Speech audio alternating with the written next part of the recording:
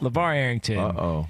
is probably feeling a little bit more confident about a bold proclamation he made on the show earlier this week. You see, guys like Brady and I, we have thrown our support into the New York Jets and Aaron Rodgers. Yeah, All we have. We want to Yeah, see we have. one of the all-time greats go out in style. Hell yeah. Jets, Jets, Jets, Jets. And we've done our part to try and defend Aaron Rodgers and defend Robert Saleh and defend the New York Jets organization. And apparently the NFL is on the side of LaVar Arrington because Hey. the schedule has come out and the New York Jets got absolutely hosed. You talk about a chop job from the National Football League. You open up on Monday night, you're at the Niners. Dang, Then you're on the road in week two at the Titans. that's not bad. Then you get a home game, but it's on a short week against the Patriots. You get not the bad. Broncos after that at home. That's not bad. Yeah. And then you're going to London. You've also got two Sunday to Thursday turnarounds. And everyone's like, well, you're being featured in prime time, as they should be. But they're being featured in prime time, and they're also getting dealt a bag of crap by the NFL. And I'm sick of it. I'm tired of the disrespect. What's disrespect. so bad being- about what you just said? That's all manageable. What are you talking about? What do you mean? I don't know. That's It's a tough schedule, man. What do you mean? What do you mean? Tough as in like turnaround time and stuff like that. I get that. Yeah, they but play three games in ten days. By the way, which I, I don't even know if that's. Um, they play three games in ten ga- days once. They play three games in eleven days, another separate time before their bye in week twelve. Start off back to back weeks on the road before they come back for a short week versus a divisional opponent. They go Manageable off to. London, which you know is what it is. But think about that. That's a lot of travel. That's a that's a lot of games in a short amount of time in the first part of the season. Well, you know, that's what they do with your schedule when you stink. You know what I mean, That or maybe it's it's twofold.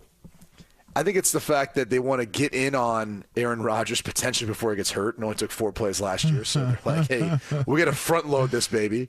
There's that element of it, and I also do wonder because Aaron Rodgers has not been afraid to voice his opinion publicly in a bunch of different ways. I do wonder if the NFL office has a little bit of a red ass for that. Oh. I mean, eh, I'll say this, LaVar, any team you went to, every single team trying to get you to toe the company line. If you stepped out of line, if you spoke out of line, I, sh- I should say, that was a problem. Sure. That was a problem for the team. The you know whatever you said that didn't fall in line with whatever the team wanted you to say, that's a problem. It- Rodgers has gone kind of above and beyond that.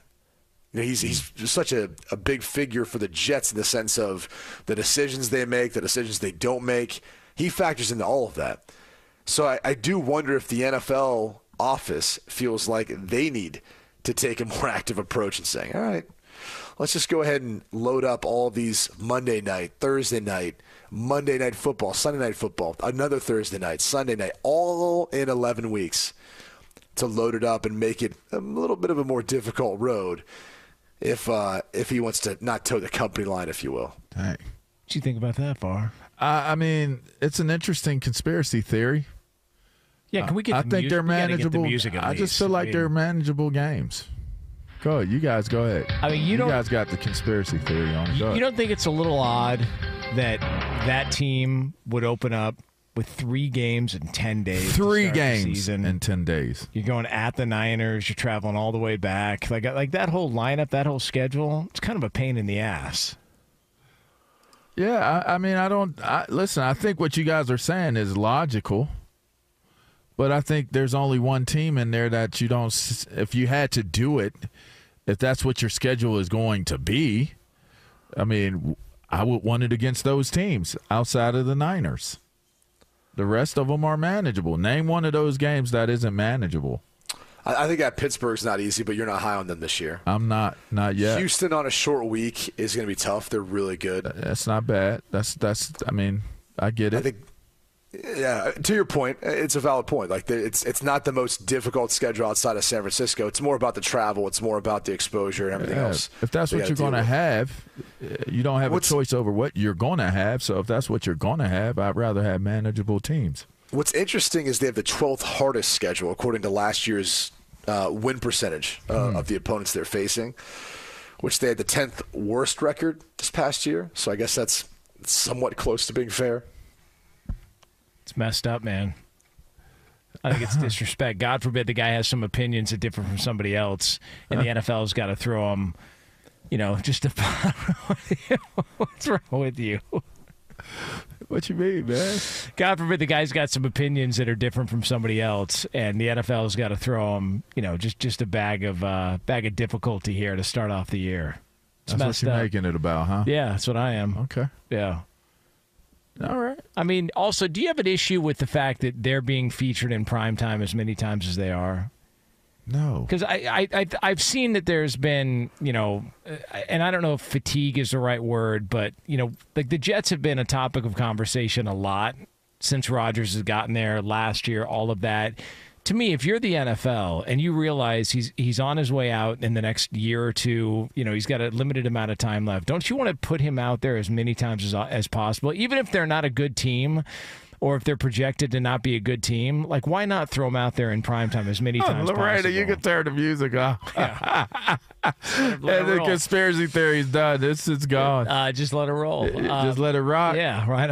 Uh, but I just look at it and I go, take advantage of it while you can. He's one of the all-time great players the league has ever seen. I know people may get tired of the fact that you know he does these weekly hits with you know with Pat McAfee and AJ Hawk.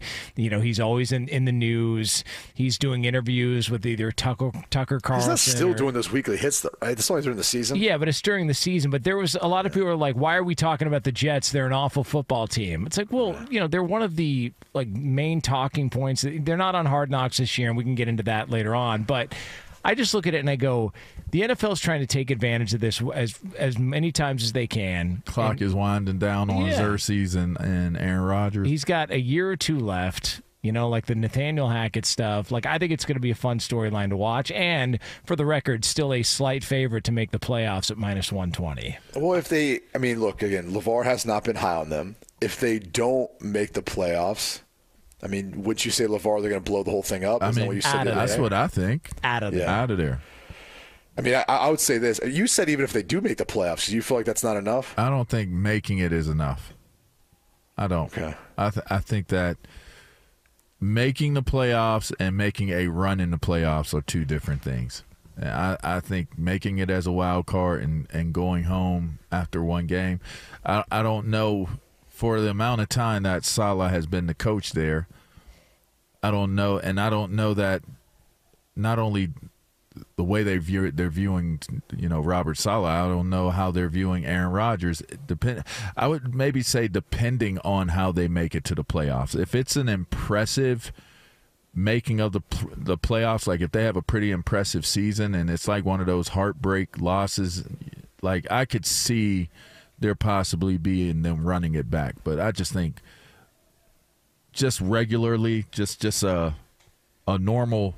This is the season. They made the playoffs. They went home in the first round. I don't. I don't see. They haven't been to the playoffs. I playoffs. don't see that being enough. They haven't been to the playoffs in 14 years. If they go to the playoffs, I don't care if they lose by 900 in the first Yeah, round. back. Yeah, every and not only they come back, everybody should get a statue. That's what they should get. Like, come on, they're they're terrible. They've had one winning season since that time. I They've been don't think- awful. I don't think. I don't think it's good enough. All right. Well, I agree to disagree, but the, the one thing you pointed out that is true is it's not like the most difficult schedule of opponents. We, we could be wrong once these games get started playing, but seven standalone games, six in prime time. Meanwhile, Carolina's got none in prime time, which it, it is that opportunity to uh, acknowledge a couple things as a former player. When you are, when you see your schedule come out, you get a pretty good idea of what the NFL thinks about you based on how many primetime games you have. If you don't have many primetime games, or none at all in this case, they think you are going to stink. And then the last thing is the bye week. They're always looking for where the bye sits in to see, especially for some of the guys who like to go on a vacation during that week, uh, where it sits. You know, and in this case, week 12, a little late in the season, but uh, sits in a decent spot for some of these teams to make a run.